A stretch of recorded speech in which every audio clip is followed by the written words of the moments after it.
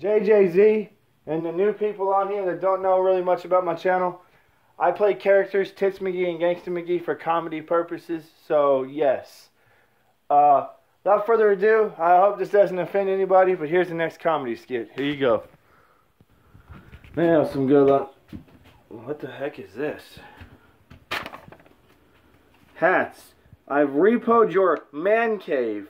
You got a problem. Get help, tits.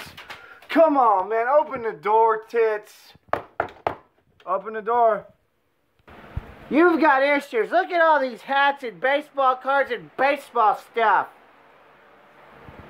You're sick. Um, I'm the one who's sick. That's just your typical American. You're 28 years old, hats. Get a life, go get help, and you can have your stuff back. Maybe. Who are you to tell me what I can and can't like? Open the door, tits. Come on, man. You played that joke on me yesterday with the Rangers cards. Now this. You're starting to make me very, very upset.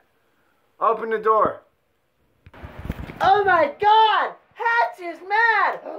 Somebody call a cop! Oh my god! Alright, man. I'm gonna be nice. Please open the door. Come on, Tits. Please open the door. You know what? I'll think about it. No. Hmm.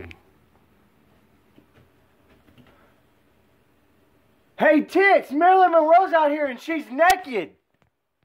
Oh, where? Where? Where? Wait a second. Marilyn Monroe is dead. Sucker!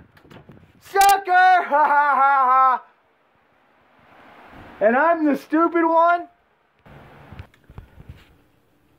I will get you help, Hats, if it's the last thing I do. Hmm. Nothing seems to be missing. Hmm. Everything seems in order. Okay then. We're all good. I need help. Come on.